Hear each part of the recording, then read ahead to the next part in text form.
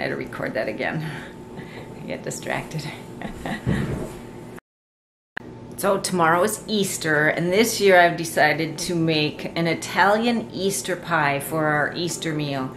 I am not Italian, but I have made it once before, two years ago. I thought it was really good. I'm not sure about the kids, but I'm going to make two kinds. I'm going to make a low carb version and a regular version. So even though I've made it before, I decided to look up some different recipes and I found one for the pie crust. Okay, what I figured out is that every Italian mother and grandmother and father and grandfather, whoever did the cooking in their house, must have their own version for Italian Easter pie.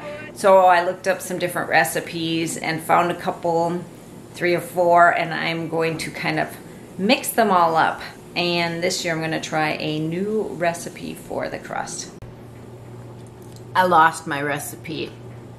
I just had it on little tiny post-it note cards. I found the recipe. See that? Ooh, I don't know if it'll focus on it. Ooh, there it is. Whoop. All right, I've got two cups of warm water. To that, I am going to add some yeast because we want the yeast to get all nice and bubbly. And it needs sugar. And I hope that was the sugar and not the salt. You can see this is nice, healthy yeast. Mm-hmm. It sat there for a while. Now I'm going to pour it into my bowl. And to that, I'm going to add, well, the recipe calls for five and a half cups of flour.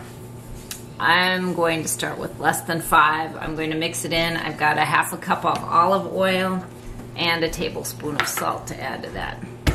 There we go. Some may want to do this by hand, but not me. I'm going to mix it all up in my KitchenAid. It says to knead and let rest for two, two and a half hours? Two hours. Okay. My mixer starts popping up and down. Do you see that? So I just add a rubber band here. that keeps it in place.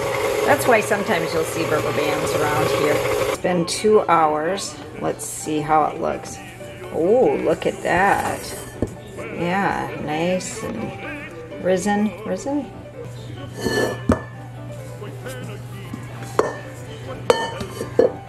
That's a lot of batter.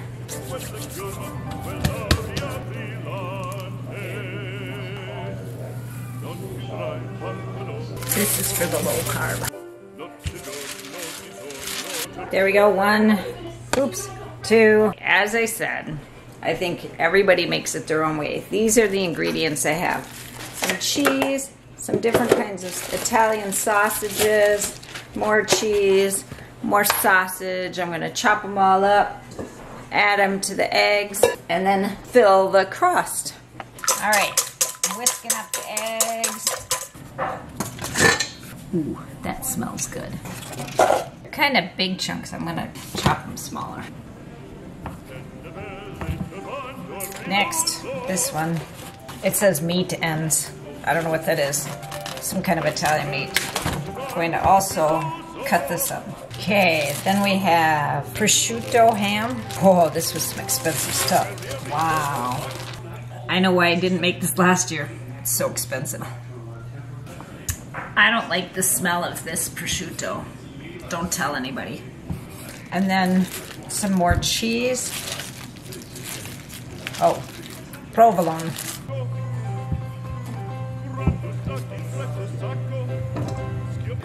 Now I watched a lot of different videos before attempting this myself. And like I said, they were all different. And I think my hair's getting on the cheese. I watched lots of videos with recipes on how to make Italian Easter pie. They were all different, and every recipe I checked called for a different amount of eggs. So this is for two pies, and I only added six eggs, which would be three a piece because that's the recipe I was kind of working with. But you know what? I think it needs more eggs. I'm going to add, I'll probably double the amount of eggs and add like six more eggs in here. I don't know. I'll add them one at a time and see. I have one more cheese I'm going to add, some Parmesan. So Italian Easter pie is also known as pizza rustica, and I'm probably pronouncing it wrong, so forgive me. I added more Parmesan cheese on the top. Altogether I had 11 eggs between the two pies. There it is. Now isn't that pretty? Oh, I'm turning the camera the wrong way. okay, I'm just gonna put an egg wash over it. I messed up the basket weave here. Oh well. No one will know in the end anyway, will they? Yeah, it looks most of the way.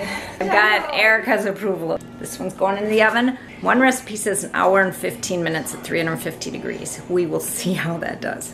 That's the low carb Italian Easter pie. That one's also ready to go into the oven. Ooh. Last time I made the Italian Easter pie, I used a pie crust recipe, but I watched a video and they used this, this recipe.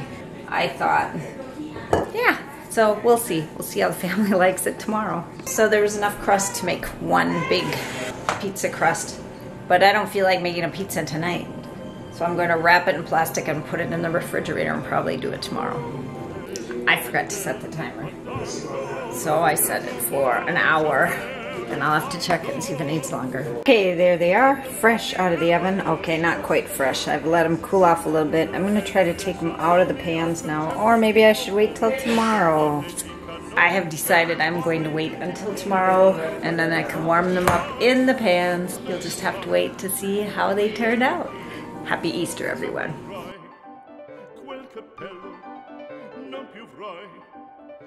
quella chioma, non più frai quell'aria brillante.